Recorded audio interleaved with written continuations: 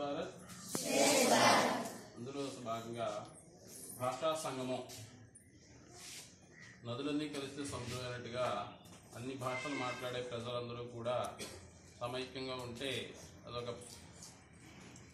ఘనమైన దేశం అవుతుంది అనే భావనతోటి దేశంలో ఉన్నటువంటి అధికార భాషలన్నింటినీ కూడా ప్రజలకి ముఖ్యంగా విద్యార్థులకి నేటి వాళ్ళే మీ అందరికీ పరిచయం చేయాలని ఉద్దేశంతో ఈరోజు మరాఠీ భాష భాష ఇది ఎక్కడ పడుతుందో తెలుసా?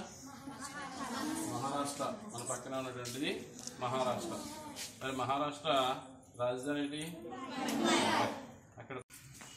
నమస్కారము. హలో. హలో. నమస్కార్. నమస్కార్. మీ పేరు ఏమిటి? మీ పేరు ఏమిటి? నా పేరు దుర్గా వెంకటలక్ష్మి.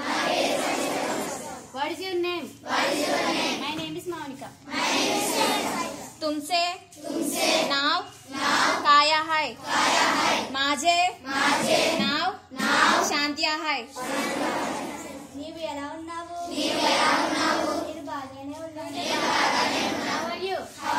I'm fine.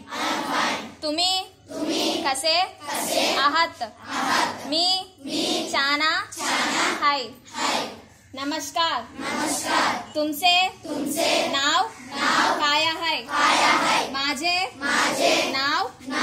शांती आहे. तुम्ही कसे आहात?